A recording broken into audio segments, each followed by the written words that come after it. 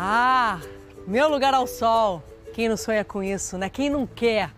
E é claro que eu tô procurando esse lugar especial por conta do meu convidado de hoje, do Vivo Verde, Juan Paiva, que tá arrasando na novela Um Lugar ao Sol. Que legal, que prazer estar aqui no seu programa.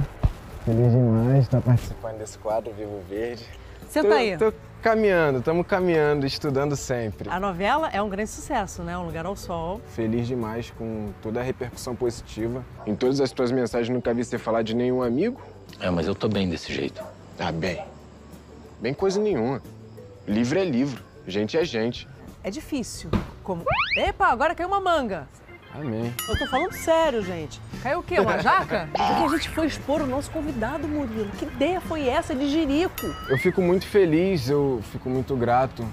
Na verdade, não é uma construção assim que eu fiz sozinho, né? Tem uma ajuda de uma galera, assim. Eu venho do Nós do Morro, eu venho do Vidigal. Fico muito feliz quando eu tenho esse, esse retorno, assim. Eu vejo que é consequência do meu trabalho e que tá funcionando, assim. É algo que eu acredito, que eu sempre acreditei. Cauã, a, a primeira vez que a gente se encontrou em cena, assim, rolou uma conexão, tipo, de imediato, sabe?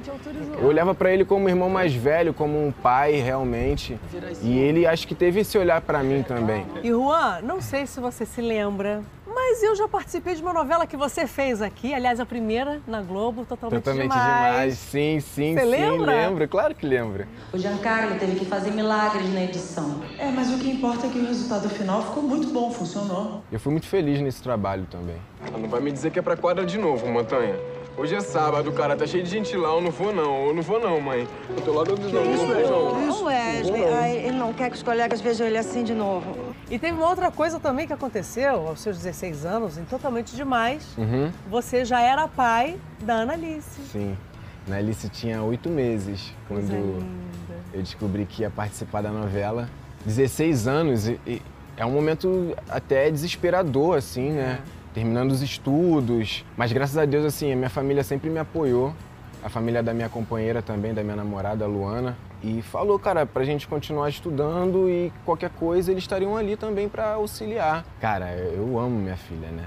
E então, a maioria das coisas que eu faço assim, eu faço pensando nela, eu faço pensando na minha mãe. São pessoas que, no meu pai, meus irmãos, assim, são pessoas que é, é o que segura, né? É a base, né? É tudo. É tudo. E agora, aos 23 anos de idade, tendo conquistado tanta coisa, mais um passo importante na sua vida, né, Juan?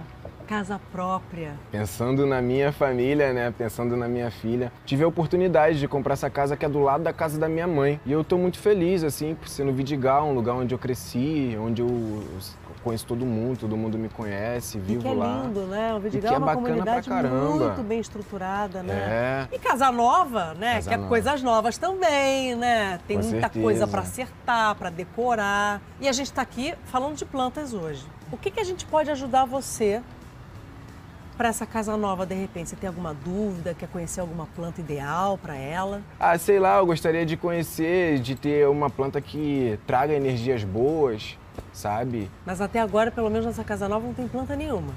Tem, tem. A minha companheira, ela cuida de cactos. Hum. Ela tem uma orquídea que é linda. Uhum. é, suculentas, sabe Legal. assim. Chegou um momento da, da minha vida assim que eu fui me aproximando.